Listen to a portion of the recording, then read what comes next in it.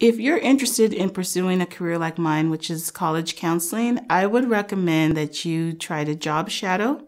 Uh, reach out to your maybe if you're in school you can reach out to your counselor your college counselor and or they could connect you to someone in the community and um, just offer to go in and job shadow and or internship and learn as much as you can be willing to learn the nuts and bolts it's not you know uh, you know, all glory. You know, like I said, glory is the graduation day.